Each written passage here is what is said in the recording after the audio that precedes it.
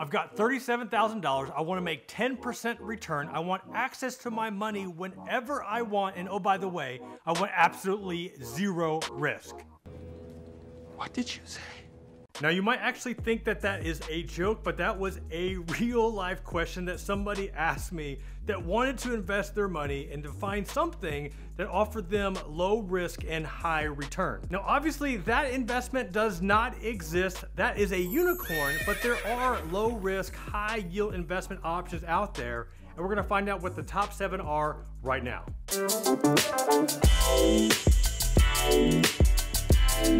What's going on, y'all? Welcome back to the channel. My name is Jeff Rose, certified financial planner. This is the Wealth Hacker channel. We're showing you a different way to build wealth that wasn't taught to you in school or by your parents. And today we're talking about low risk, low, low risk, high return what sort of investment options are available to you. Now, before we start talking about low risk investment options, first we have to understand what exactly is risk. Now, I don't know if you've ever taken the time to fill out one of these investor questionnaires that ask you, how risky are you on a scale of one to 10? That typically doesn't work. Since I was a financial planner for over 16 years, I understand that that doesn't work. Now, one of the simplest ways I was able to determine how risky an investor really was was to help them quantify how risky they were. As an example, let's say that you've got a $100,000 portfolio. Would you be comfortable losing 10% of that portfolio, say within a 90 day time frame? And I'd ask this to different clients, and typically I would get, oh, yes, I'm totally comfortable with that. Or I would get, no way, I am not comfortable losing 10%.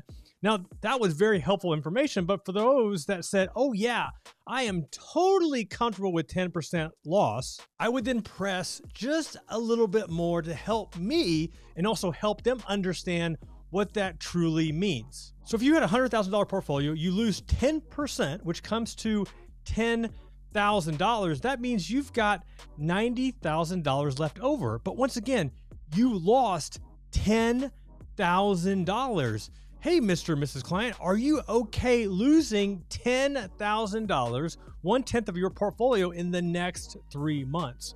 And that was how I was able to help them see what that truly means. So, exactly what I'm trying to do here is help you quantify how risky you really are. Many people that say they're comfortable losing 10%, 20%, 30%, when they start seeing you having a million dollar portfolio losing 30% to where you lose $300,000 in less than a year, a lot of people just aren't comfortable with that. But that is a whole lot more helpful than filling out a questionnaire that says, Are you risky from one to 10? All right, let's go ahead and dive into the wealth board so we can start seeing what are these seven different low risk, high return options. So, number one is high yield savings. Now, for a very, very long time, high yield savings was almost laughable because, I mean, there it was almost a decade where you were getting less than 1% on your money. I mean, it literally was laughable. Now we're seeing where you can actually get 4 to 5% on high yield savings that also could be money market accounts I mean, it, it's it's fun to see that these options are available. But it's funny, like don't just because interest rates have gone up, don't automatically assume that your bank has increased their rates. So just to kind of give an example, here is looking at the FDIC's website right now, and you can see where right now it says the national uh, national deposit rate is 0.39%. 0.39%. And that's not really that exciting, right? But if you, and just to give you an example, so here is actually my bank. Uh, and this is, I, I still get a chuckle out of this. Maybe it's just like I'm in denial here. But any balance, APY, 0.01%. Let me make that bigger just so you can see it. 0.01%. And mind you, that's not 1%, that's 0.01%. Um, so you're like, okay, so Jeff, if the FDIC says the national saving rates are 0.39 and your bank is, point, is paying 0.01, well, what else is out there? Well, I just went up to Bankrate just to see, you know, what else, what options are there for savings accounts right now. So just to give an example, as I mentioned, we got PNC Bank paying four, uh, 4.3. We've got Marcus, which was has been a very popular savings account for quite some time. It's paying 3.9. Lending Club, which used to be peer-to-peer lending, now they are into now they're a neo bank into online banking. 4.25%. Synchrony 4.15.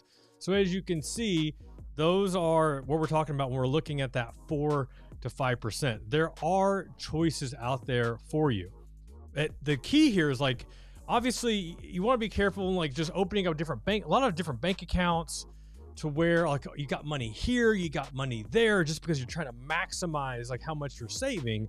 I will say speaking from personal experience, when I continue to see my bank paying what they're paying, like paying what they're paying or what they are not paying, I am looking at transferring a bulk of our savings to another quality bank, FDIC insured, that's paying more.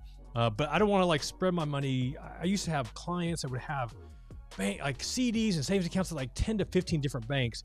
It is a bookkeeping nightmare. Like, don't go chasing rates. Like, just make sure that whatever you whatever you do, just maximize what you have. All right, so that's number one. Let's look at number two. Staying with the banking theme here, bank CDs. Now, once again, CDs are something that I I don't think I would have added this to the list. I actually did a similar video to this a couple years ago. You know, CDs were not on here because it just wasn't worth it. If savings accounts, money market rate accounts are higher now, you're going to see the same thing with bank CDs. Now, it can be difficult to try to find all the different rates. So, one option that I have found is just being a very simple option for a lot of people is Save Better. So Save Better is a an online platform that basically is a broker to different bank and different banking products. So they have savings accounts, they have money market accounts, bank CDs, which we're going to address here in a second, and other banking products. But just to look at the current top bank CDs, this is the this is currently on Save Better's website, their high yield CDs. We've got Sallie Mae Bank, it is a 27 month CD paying you 5.15%. Axiom Bank also paying 5.15%.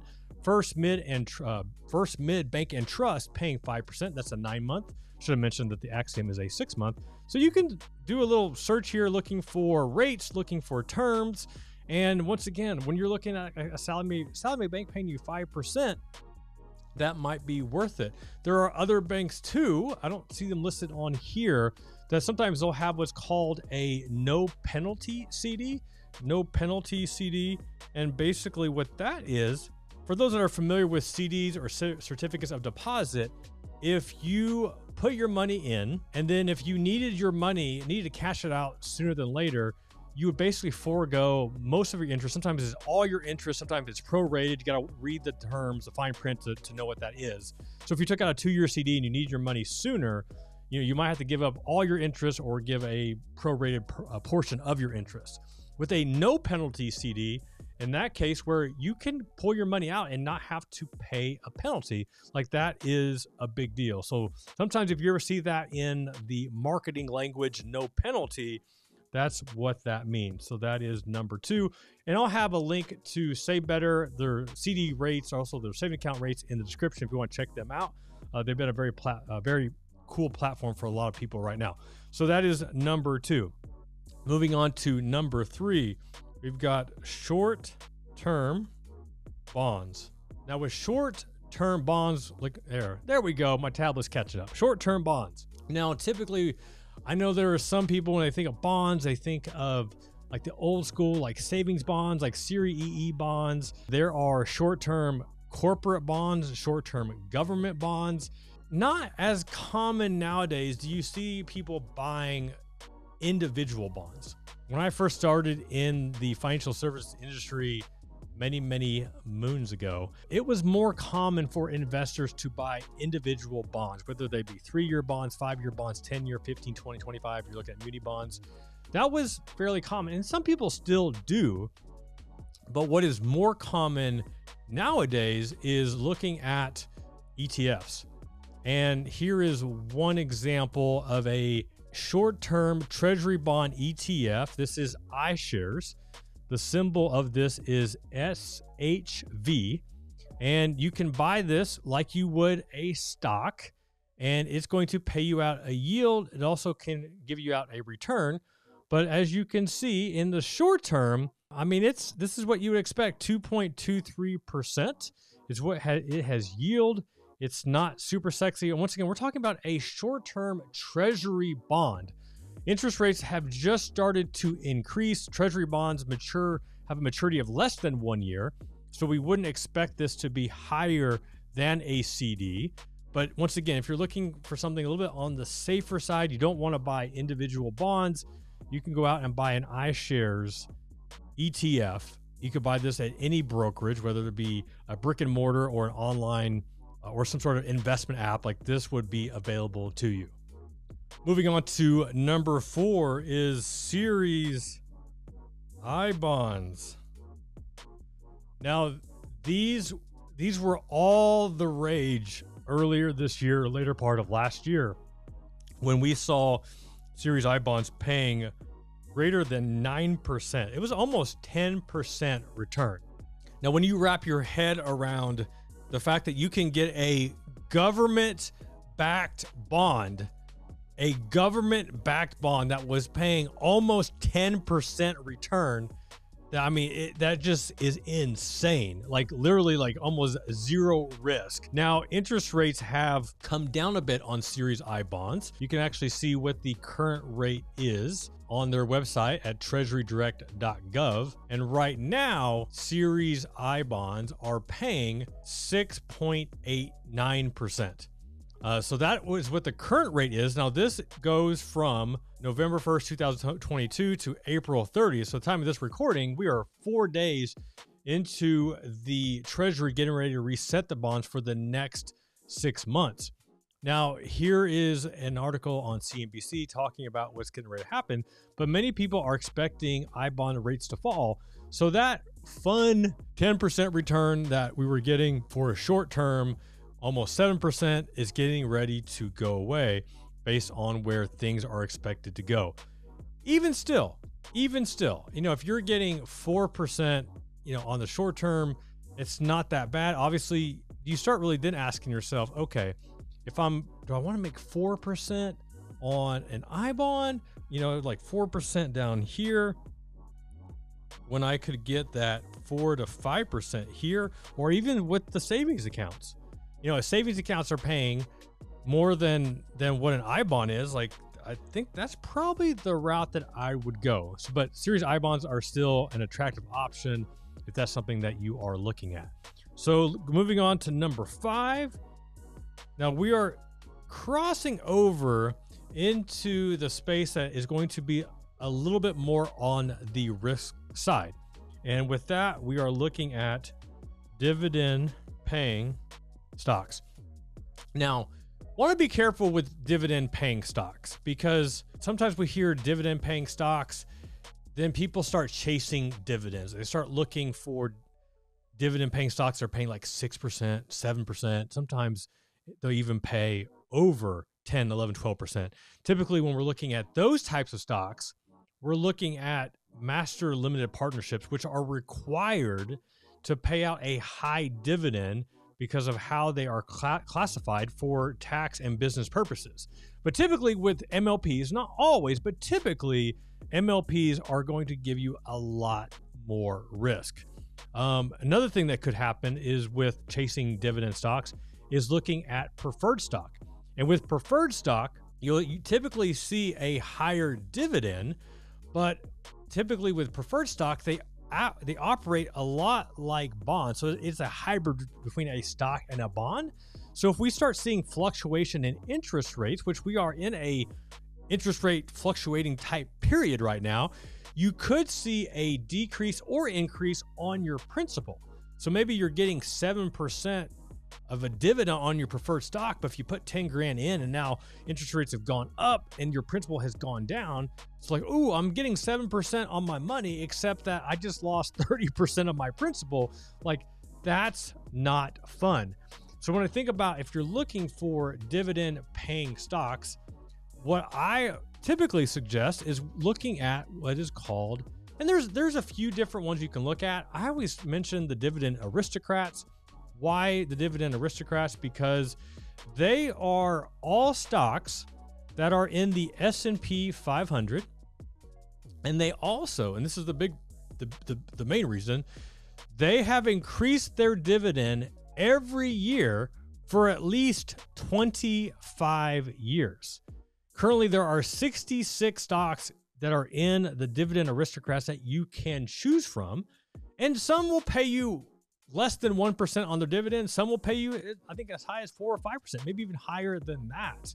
Now, does that mean that there's zero risk? Obviously, we've just crossed over from buying FDIC banking products to now we're investing in the stock market. So there is a level of risk that is higher, you know, scale one to 10. It's probably above a five with the dividend aristocrats, but it's still a, I think is a more of a safer option than going out and trying to buy growth stocks or tech stocks or MLPs or preferred stocks.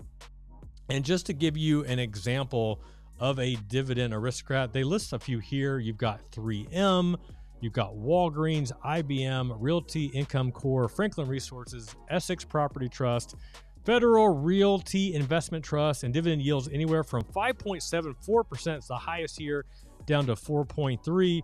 Pulling and a real example up here is IBM currently.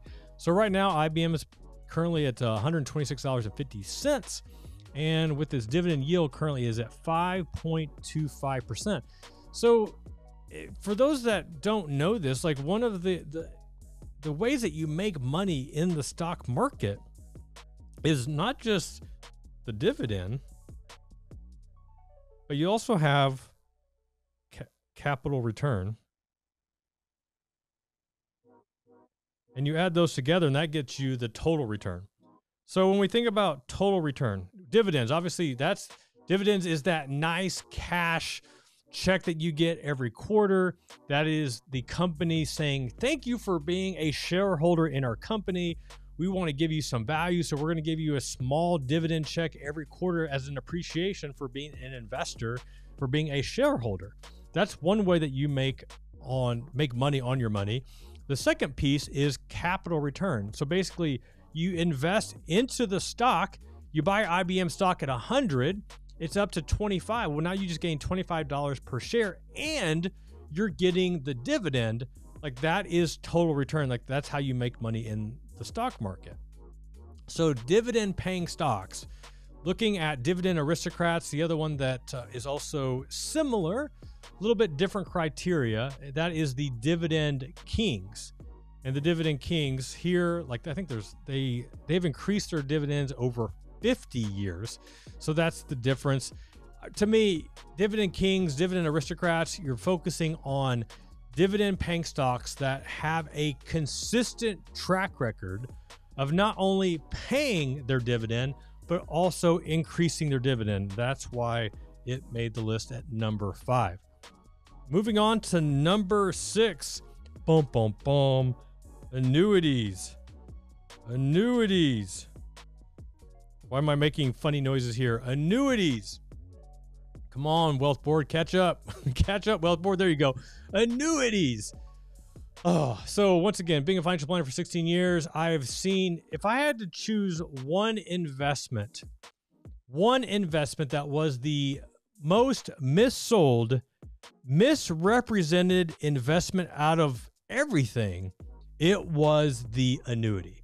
Now, annuity can mean a lot of different things because within the annuity and annuity realm, you've got fixed annuities, you've got deferred annuities, you've got variable annuities, you've got fixed index annuities, and there's probably 17 others I can't think of at the moment.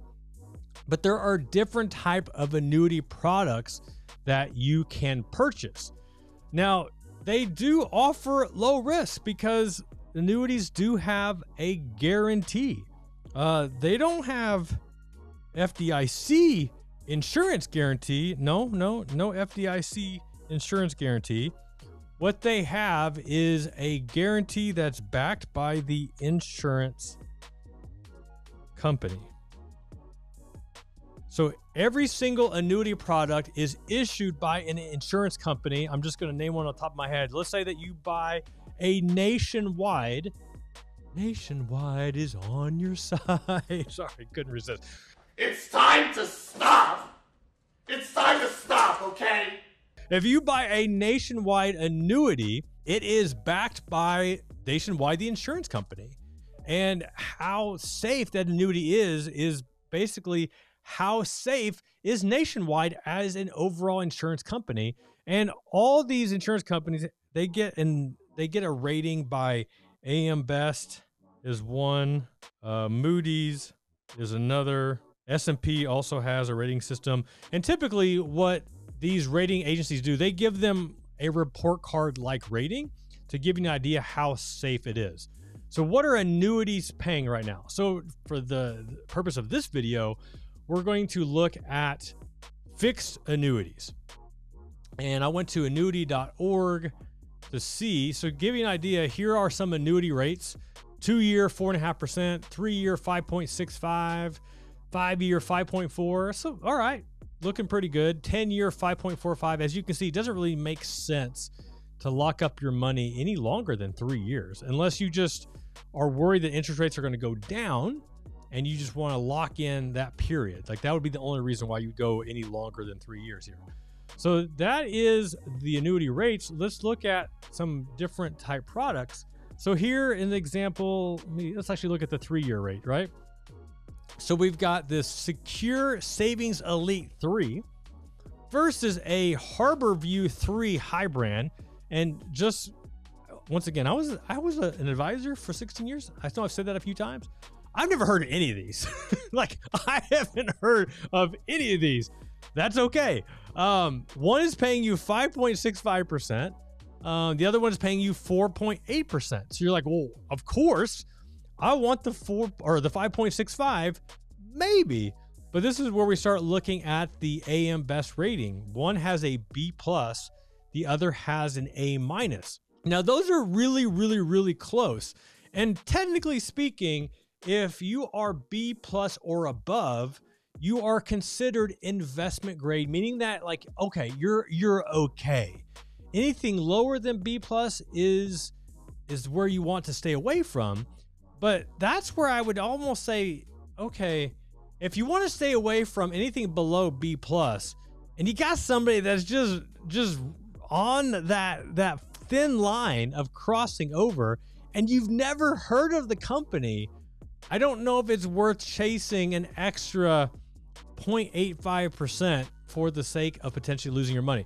So that's just one thing to consider. Now, the other thing with annuities that you have to remember, and this is the big, big, big difference, is that if I need to go down here with annuities, unlike a bank or a bank CD, you would you would pay a penalty if you were to cash your money out sooner than later.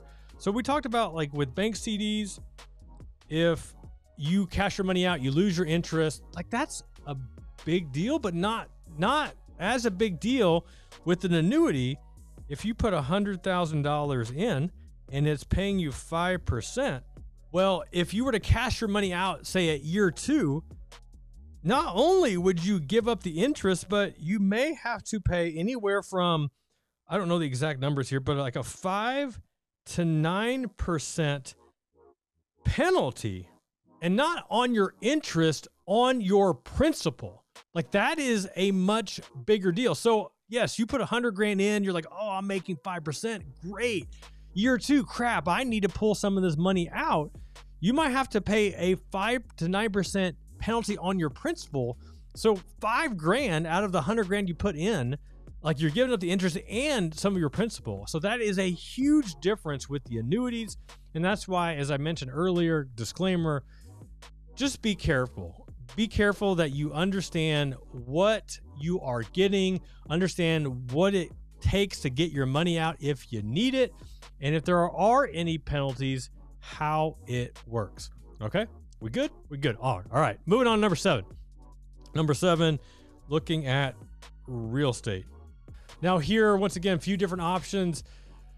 For many, trying to buy a rental property, trying to buy a flip type property, trying to get into the rental game, that is high risk for a lot of people. Low risk options, you can buy real estate investment trusts in the form of ETFs, in the form of stocks. Like these are all choices that you can do. Now, for me, like one of the options that I've just loved because it's simple, it's easy, and that's just and it's returned it's made me decent money over the years is Fundrise. Uh, Fundrise is a crowdfunding investment platform that allows you to basically pool your money with other real estate investors, and then Fundrise is in charge of purchasing whatever types of properties that is in their portfolio. And they're buying homes, they're buying single family homes, condominiums, complexes, I mean, all across the board. And if you look at the returns, they're actually really good. Especially, I mean, this is the year, you know, we had an off year last year in the, the, the stock market, also in real estate. So with Fundrise, like they only made one and a half percent in 2022. Now I say only, only, but then if you looked at the public REIT sector was down negative 25%. The S&P 500 was down negative 18%. So that's one of the what one of the rules of making money investing is you, you you don't lose money when everybody else does, right? Or make money when everybody else is losing. So it's like, oh, you only made one and a half percent. Like, oh, well, yeah, I could have lost 25. So really, I made about 26 and a half percent. But 2021, 20, almost 23%, 7, 9, 8. And I've had my Fundrise account now for, gosh, how long has it been? Uh, since 2018, maybe at the beginning. Let's look here. Yeah, since February 2018 is when I opened my account. And you can see my returns here. I'll make it a little bit bigger so you can read it.